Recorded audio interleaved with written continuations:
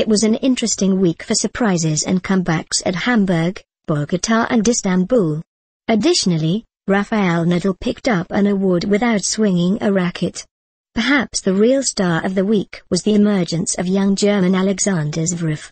What kind of game does he have, and what can we expect in the future? And how has Bernard Tomic responded to the hot attention on young Australian tennis? In the WTA, one star stood out on a day the British Open of Golf was captured by Rory McIlroy. Was it mere coincidence or star-crossed sports drama? Find out the latest headlines and interesting stories in this week's edition of Winners and Losers, where we comment on the unusual, disappointing and triumphant happenings in professional tennis.